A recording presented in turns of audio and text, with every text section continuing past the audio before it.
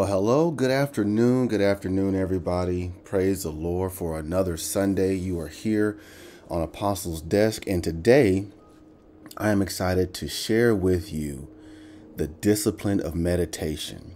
That is our goal today. This is what God wants us to know and understand is why meditation is important to the life of a Christian and how as a Christian to actually meditate. So, Father, we thank you for this day. Lord, we thank you for all of the glory that we get to see as we see and move through your creation. We thank you, Lord, that you you you have shown us so much, and yet and still there is so much for us to know and understand. And on this topic of meditation, Lord, is my prayer that your ways are understood, what you desire as meditation be explained, and that, Lord, that for all those who are hearing my voice right now, who are hearing this message, that they will receive your word and your ways and your understanding on meditation. Father, I thank you for being able and being willing to talk to us, to explain to us, and to bring us up higher in our thinking and in our ways. Thank you, Father, for the gift of being able to withdraw to a quiet place, to be alone and commune with you in a way that is familiar to you. So Lord, I bless you for this word. I yield myself to your to your leading and to your guidance and I yield my mouth and my thoughts. And I pray that everyone praying this with me will do the same. In Jesus' name I pray. Amen. Amen. So first thing I want us to under, to do is to set ourselves in the word on what meditation is and why God is calling us in this day and age to have time where we meditate. And so, what we're going to do today is we're going to walk through the scripture and then we're going to show you, God is going to prayerfully show you through me, through examples that He has given me on what meditation is.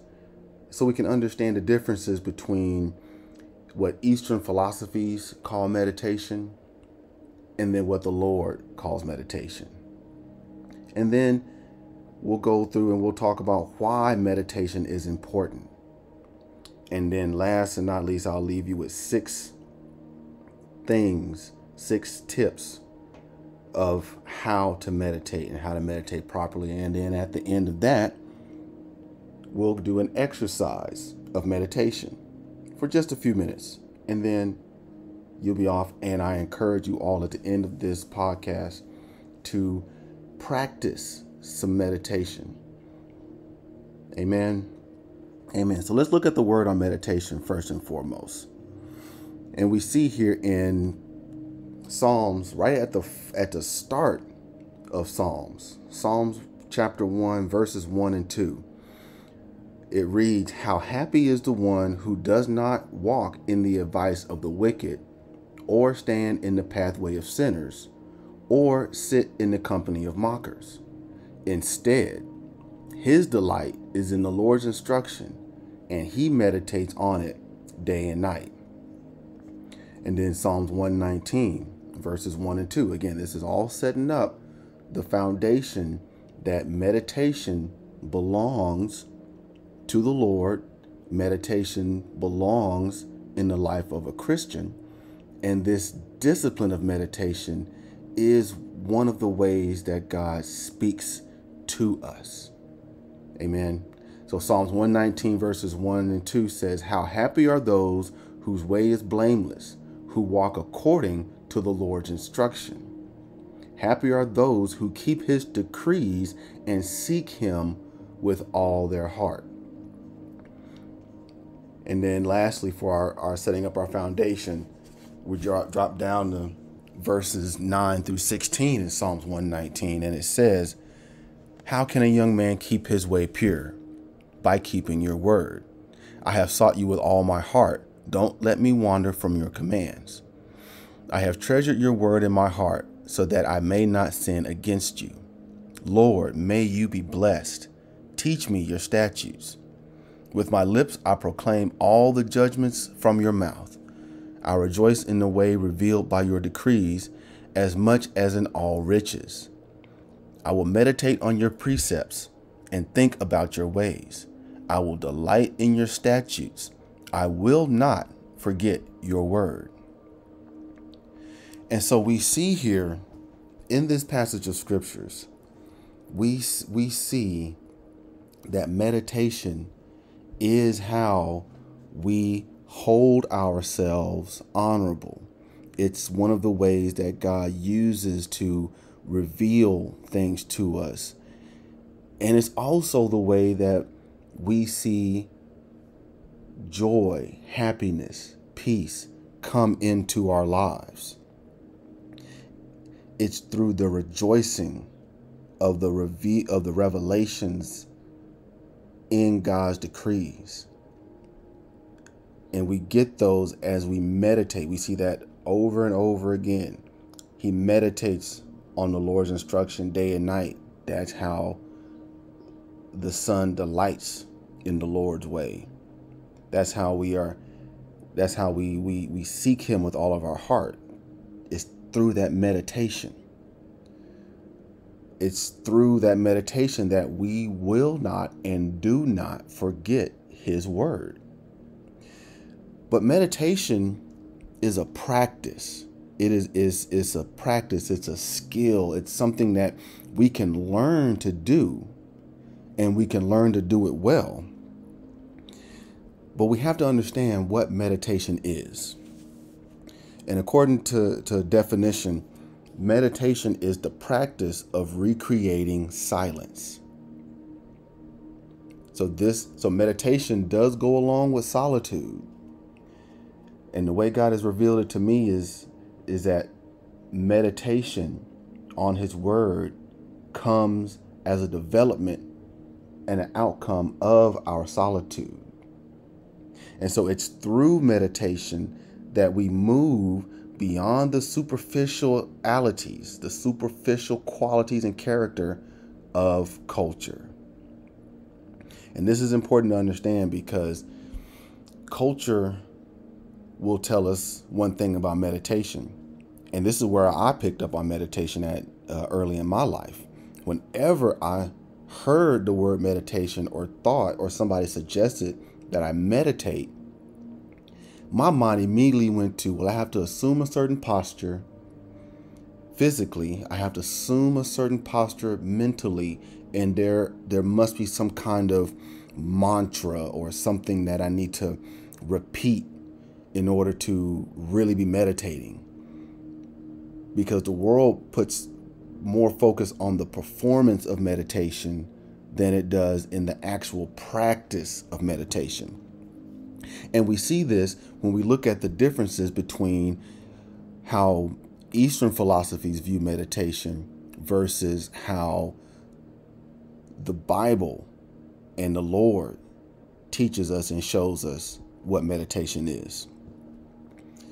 And so so to set up the juxtaposition or the, the compare and contrast, Eastern philosophies and Eastern meditation utilizes many physical exercises to remove one's mind from this reality, from this physical reality. And it's critical in Eastern meditation and Eastern philosophies that, that lean on meditation that we must escape this reality when meditating. And so the final goal in Eastern philosophies for meditation is the detachment from this reality. The soul is emptied and is opened up to this other reality, and the mind is emptied. But when we're in, when when we look at Christian meditation, the focus now is on continual obedience and faithfulness to the Lord and his ways. In Christian meditation, we're encouraged to withdraw from people with the purpose of deepening our commune with our Creator God. We're encouraged in Christian meditation that the focus is for our spirit and soul to hear God's voice and to obey his word.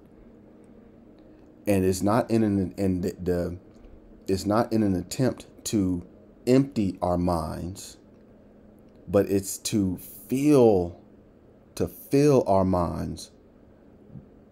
But what are we filling our minds with?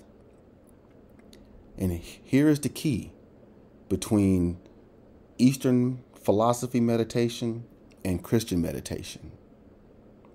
Christian meditation is focused on God's word and his precepts, just as we read Psalms 119. And in Psalms, the writer of Psalms, the writer of, of Psalms understood meditation because meditation was understood by the culture of the time it, it wasn't strange to see the prophets of the day to go off to themselves and meet God there and to be alone with God. And we see in through through Abraham's life and through Moses' life when God began to speak to them, it was usually in places where they were away from everybody else.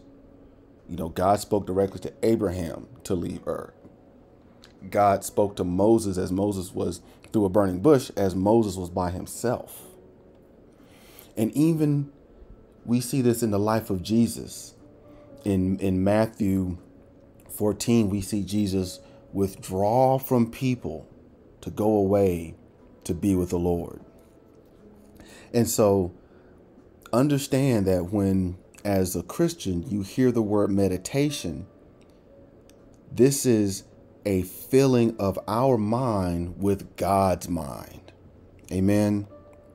Amen. And so why why do we meditate? Um, I, I heard a quote from a 15th century German Christian author named Thomas à Kempis, who said, Meditation helps us to grow into a familiar friendship with Jesus. And isn't that good? Isn't that what we all want? We all want to have this friendship with our divine creator God, with our with our Lord and Savior Jesus. Well, this is how that relationship is cultivated. It's through the time that we spend communing with him with God the Father, God the Son Jesus, by the power of God the Holy Spirit to create this emotional and spiritual space. And in this space, we we give over to Christ and allow Jesus to construct this inner sanctuary within our heart. And this meditation opens the door and brings this living reality into our life. And think about that if meditation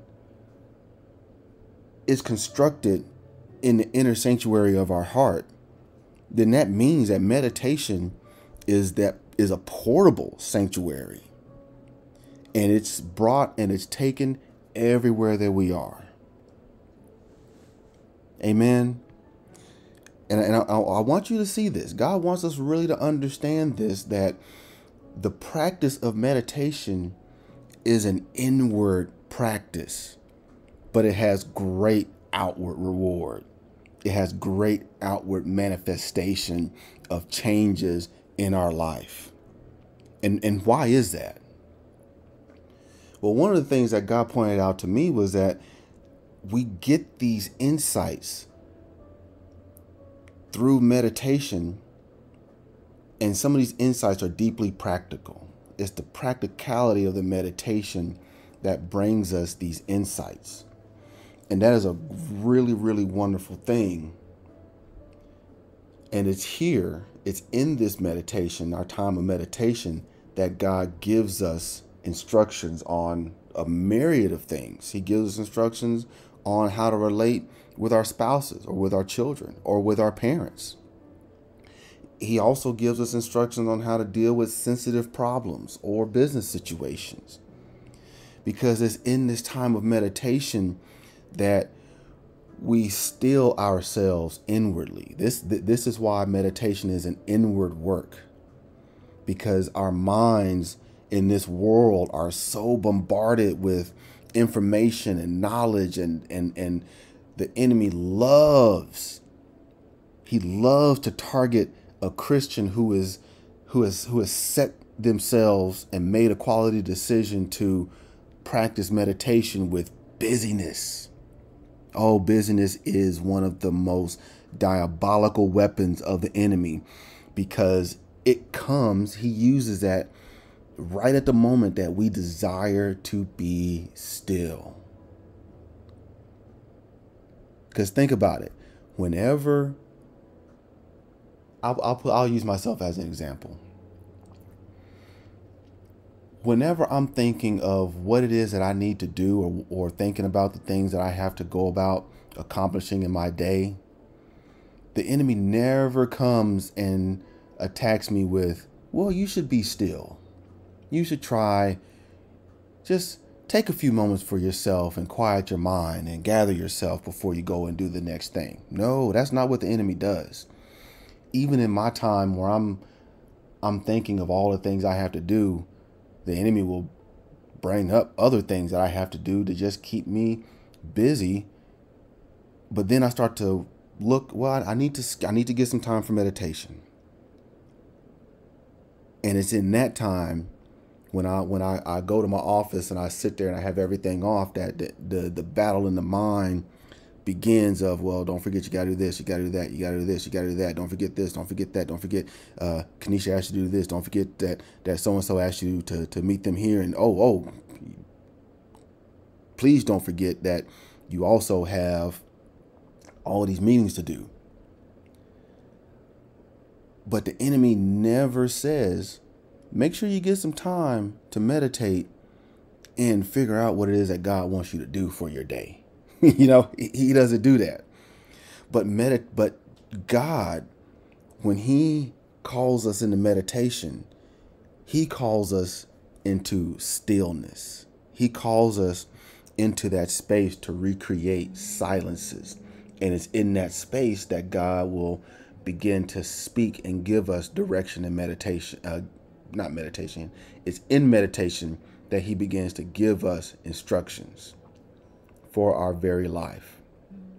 Now, I spoke earlier about my understanding of meditation before I started really seeking God on what meditation is.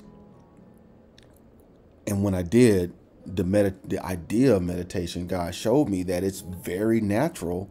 It's a very natural human activity. It's it's really just as natural as breathing you know, and we don't need any special gifts or powers. Uh, th- there, there isn't a level of enlightenment that we have to reach first before we can begin to truly meditate. For us, meditation is really very simple, and there there aren't any elaborate techniques that we need to learn before we can begin meditating.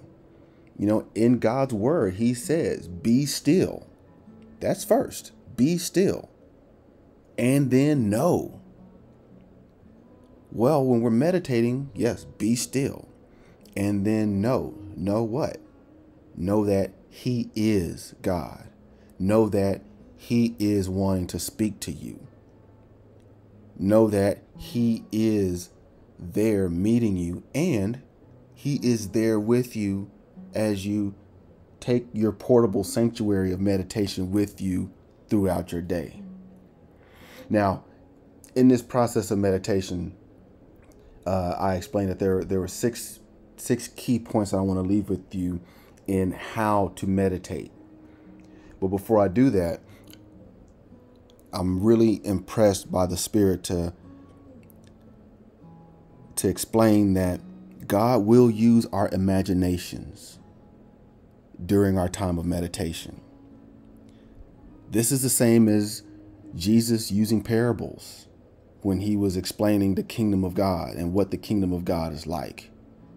You know, he used images that the people that he was talking to in that moment could understand to explain the things that they could not see. Well, God uses our imagination in that same vein. Our imagination is a wonderful gift that the Lord has given all of us. And one of the purposes for that is for Him to speak to us in a way that we personally could understand. So the imagination that God has given me is different from the imagination that He's given you. And the imagination that He's given you is personal to you. So, case in point, whenever God begins to speak to me about warfare or about the weapons of warfare or being a warrior, He speaks to me and, and, and He used my imagination. I begin it begins to be filled with images of modern warfare. I see a modern 20th century or 21st century soldier. I see 21st century weapons. And through that, I begin to see and understand how our weapons of warfare are not carnal. It's not against flesh and blood that we war, it's against principalities and rulers of this darkness and principalities and rulers in high places. I begin to see the battlefield as a modern battlefield. That's how God explains battle to me. He may explain it differently to you. And that's okay. That is perfectly okay. Because our imagination is so, it, it, it explains and it gives credence to God being so accommodating to us and so desires to be taken seriously in our world that he'll use these known images to help us understand what we understand very little of, which is the unseen realm. Amen. So the more we seek God's way, the more we desire to live in God's way, the more God will utilize our Im- our imagination for his good purpose. Amen. So here are the six ways that we can set ourselves up for successful for a successful time of meditation. The first thing is we need time. We need to dedicate a time in our day to meditate and a length of time if you're going through our Warriors Training School, th- this month we're focused on meditation, and the discipline is to meditate for at least 30 minutes. Spend time, that time meditating. But if you're just wanting to develop the skill of meditating, start with five minutes. Start with two to three minutes. You know, set a 15 minute goal whatever that goal of time is, fight for that time, set that time, fight for it, and then honor it. And it could be first thing in the morning, it can be in the middle of the day, it can be um, right before you go to bed at night. Whatever time you and God set, fight for that time. The second thing is to center and settle yourself in that place. So get comfortable not comfortable enough where you fall asleep, but set yourself up to be comfortable and in a space that is quiet where you'll be uninterrupted. And then the third thing is to sink into the presence of God. This is the posture. And, I, have heard uh, some some of my mentors say they do a palms up, palms down type of mentality when they're meditating palms up meaning they're receiving from the Lord. So if they recognize an imagination that is coming from the Lord that is not necessarily a future thing, but it's something that they weren't necessarily contemplating on before their time of meditation or in their daily life, They they have a palms up attitude to receive that insight. But if it's a care, if it's something that they're worried about or concerned about, or it, it, it originates from their life, they do a hands down, meaning they're laying it at God's altar and they leave it there and they uh, spiritually imagine themselves stretched out before Him. And they release all that worldly care on the Lord, which is number four. In that palms down state, release those worldly cares to the Lord. And then the fifth thing is to focus. You want to focus on Scripture. You want to make sure that as you are going about or you're in your time of med- meditation, pick a particular passage of Scripture that speaks to you.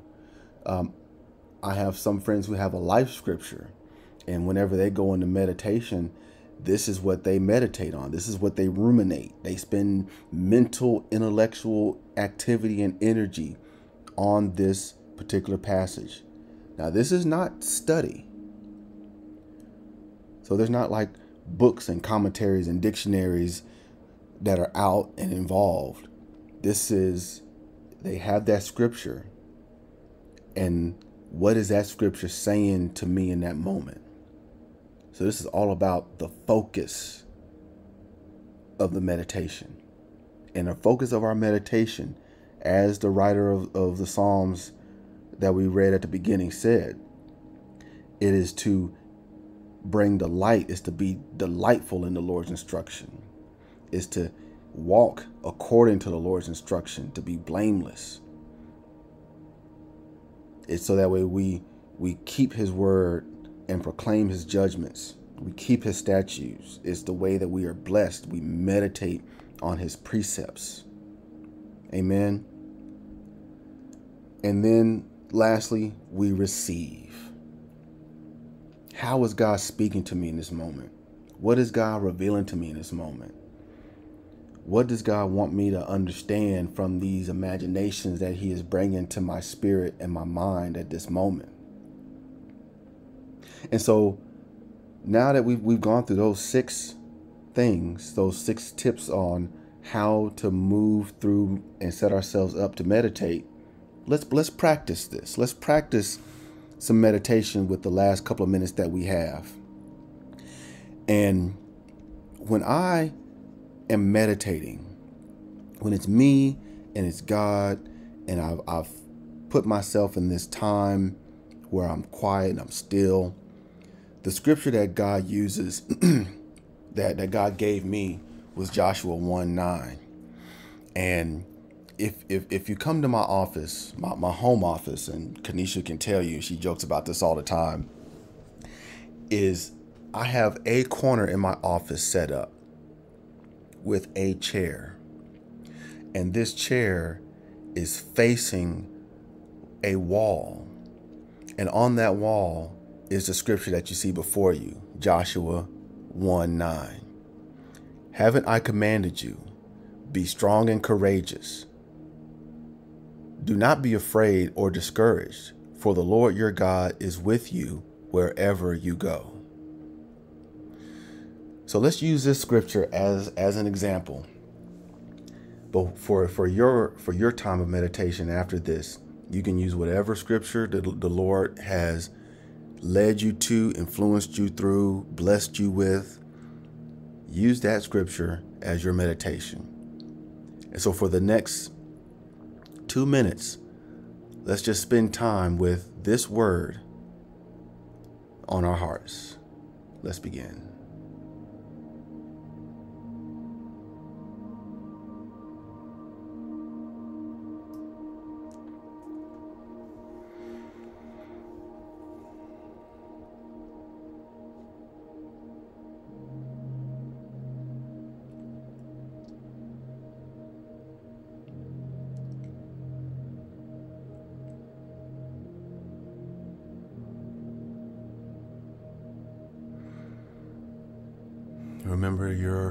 Comfortable place. You're quiet. You're allowing those thoughts in your mind to be replaced with the Word of God.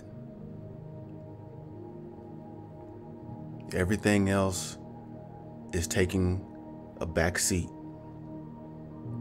to what God wants you to understand in this moment. God's Word is inerrant. God's Word is for our rebuke, our correction, our instruction. God's word to us in Joshua 1 9 says, Haven't I commanded you? Be strong and courageous. Do not be afraid or discouraged, for the Lord your God is with you wherever you go.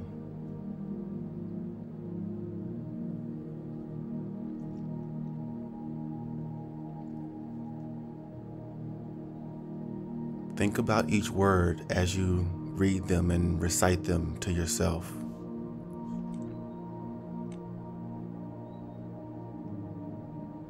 Allow God to implant visions in your in your spirit, in your mind on what it means to be strong and courageous.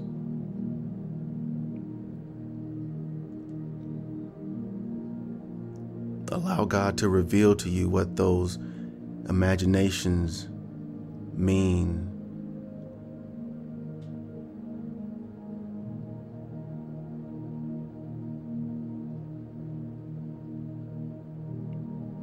What is God saying to you about not being afraid or discouraged?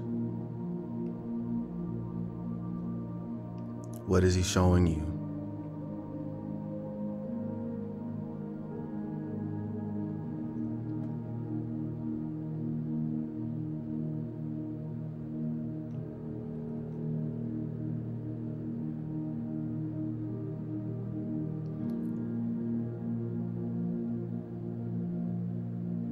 Is God using your imagination right now to reveal to you that He is your God and that He is with you wherever you go?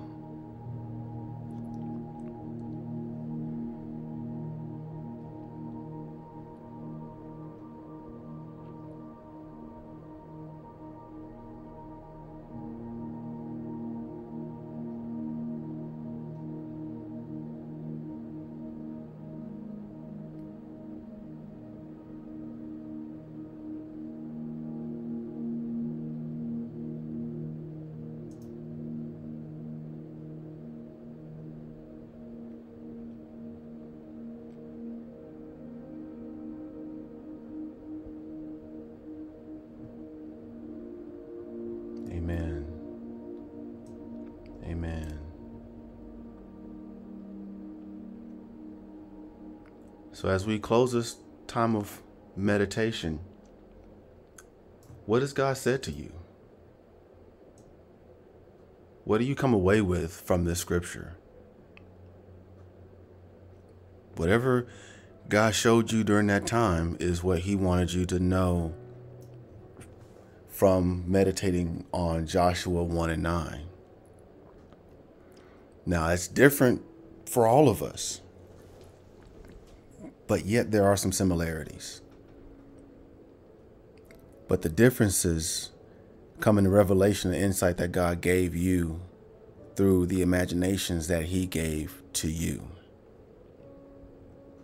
And so be thankful. Be thankful that through the simplicity of Christian meditation, we gain so much insight into this world and into the things of God and into ourselves. And that's part of the discipline. That's the outcome of the discipline of meditation. It is our growth. It is God's encouragement to our spirit to continue persevering. It's how we receive answers. So I close in prayer for everyone who is who is with us that as we practice the discipline of meditation that it grows our understanding of things unseen. It grows our understanding of how to receive revelation from the Lord, from you, Lord. It's through the discipline of meditation that we see Jesus able to fulfill his purpose and understand and see what you do, Lord, to hear what you do, Lord, and then to receive all that was necessary to do what we see you do, Father. So, Lord, it's my prayer right now that for each one of us that we grow in this discipline of meditation according to your ways so that we can delight in your ways and we can keep your precepts on our hearts. We can follow your commands and statutes with joy and gladness. And that we can carry you with us everywhere that we go. Lord, thank you for your understanding and your your word and your teaching that encourages us to meditate day and night on your word. It's in your son Jesus' name that we pray this and we bless you. And I bless everyone who has joined me in this time of meditation today. Amen and amen. Well, I bless every one of you. Thank you so much for spending some time with me today. I pray that this word blessed you. If it did, hit that subscribe button, hit the like, leave some comments uh, on this podcast on how it blessed you. And then we will see you again next week. Have a blessed week. Love each and every one of you. Take care.